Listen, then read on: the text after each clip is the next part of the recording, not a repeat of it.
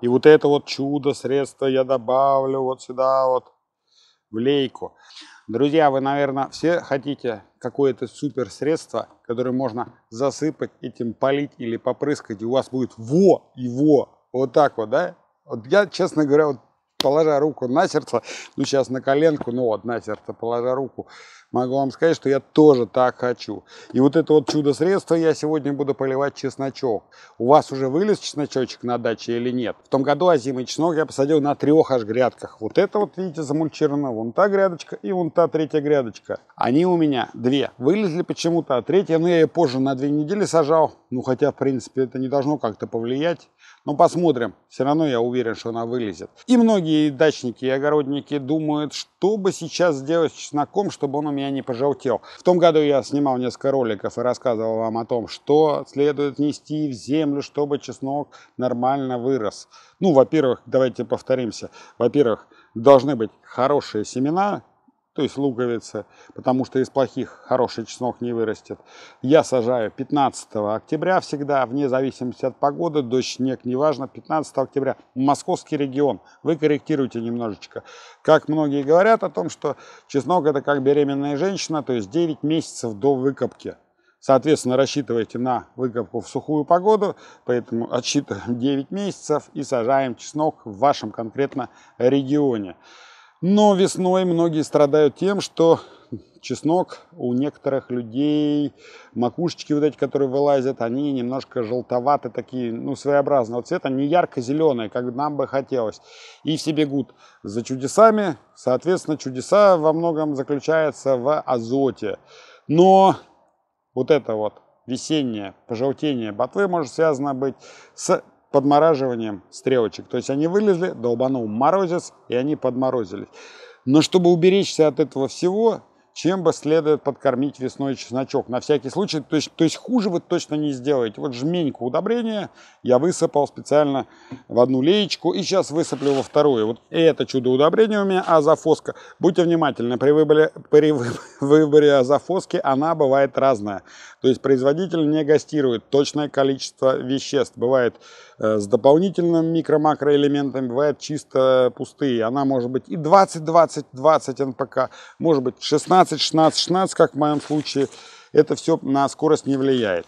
Помните, я показывал вам, сколько весит моя жменька, точнее, входит в нее. Как раз мне этого, этой дозы хватит, потому что таскаться на огороде с весами, или с ложками, или с коробочками из-под спичек, это, на мой взгляд, не очень хорошо. После того, как мы добавили все это дело в леечку, обязательно хорошо перемешать.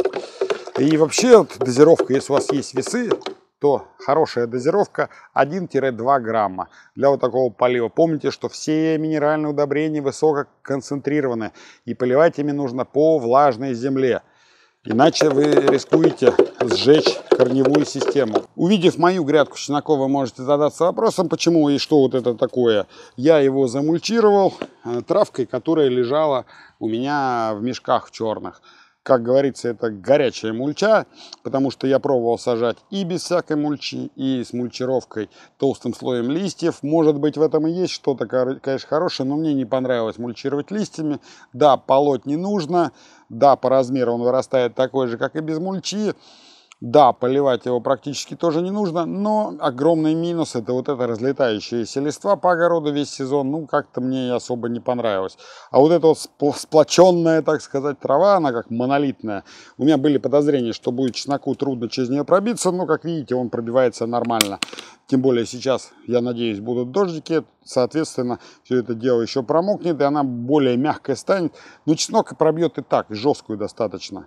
Поэтому, дорогие друзья, не бойтесь мульчировать чеснок. И мульчу не обязательно убирать э, весной, потому что ну, а смысл его мульчировать, чтобы просто позже прогрела земля? Нет, конечно же. Поэтому чисто для борьбы с сорняками. И вот такая вот подкормочка, если вы не хотите или у вас нет, допустим, азофоски, Можете использовать какое-то комплексное удобрение, либо использовать чисто азотное, типа мочевины, либо сульфатом аммония из расчета 1 грамм на литр. Но помните, что мочевина и сульфат аммония и аммиачная селитра в том числе, они очень сильно закисляют грунт, поэтому не следует ими часто очень пользоваться.